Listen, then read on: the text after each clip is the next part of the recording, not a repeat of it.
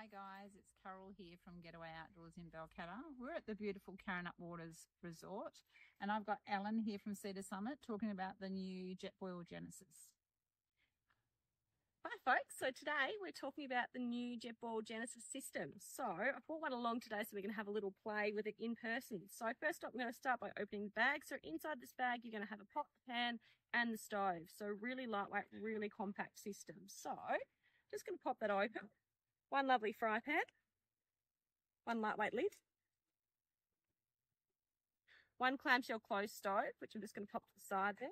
And then we've got a large five litre flux ring cook pot as well. Good for my spaghetti. Perfect for the spaghetti. And on the inside of the bag, which we're not going to demonstrate today, we've also got a lightweight windshield as well. Not needed with today's conditions because it is beautiful and calm. But if you are in windier conditions, you can pop that onto your stove as well too um, increase your wind resistance. And then last but not least, the regulator that plugs that one into its fuel. So nice and compact. Nice and compact.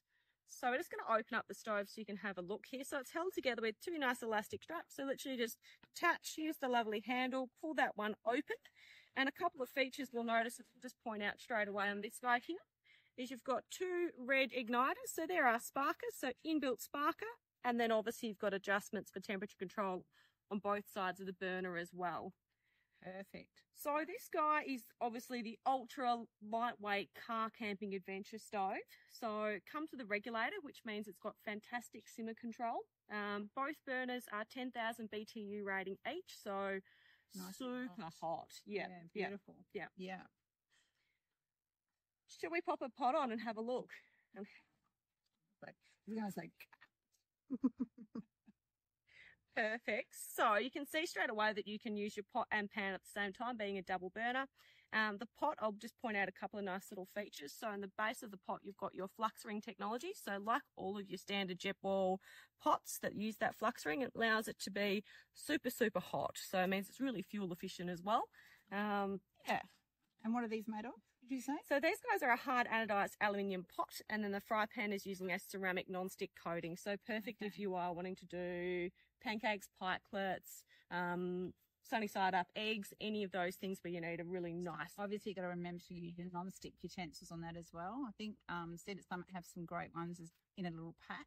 We do. We'll pull that one out later, I reckon. Have a yeah. little nose. Um, and it's always a good idea to take the pots off to burn to start it up. Absolutely. I always, for any Jetboil stove, get the stove going first so you can see that you've got it going and then pop the pot on or pan on. Make sure if you're popping the pot on, of course, that you've got liquid in it so you're not going to boil that dry and overheat the pot in any way, shape or form. So these are a bit different um, with the fuel, aren't they, compared to your Jetboils? So, yeah, yeah. So your standard jet Jetboil stove runs on an isobutane blend, whereas these guys actually run on propane. So don't go and grab your Jetboil fuel canisters for this guy. Leave them at home. Just grab a, one of the green tins of propane and that literally attaches to your regulator unit into the stove. So really lightweight, really compact um, little unit there. Do you know how long that gas will last?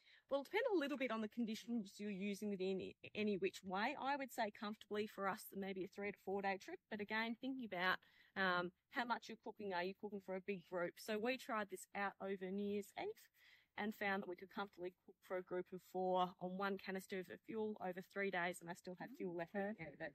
And how long will it take to boil a litre, litre of water in this? Looking at three minutes for a litre of water boiling on that one, so you can have that cup of tea or coffee happening nice and fast. So as you can see, nice, compact, hot. So um, big enough for a whole family, so you can do your pasta in this one. Um, yeah, come and have a look. Getaway Outdoors Balcatta. Thanks, Ellen. Thank you.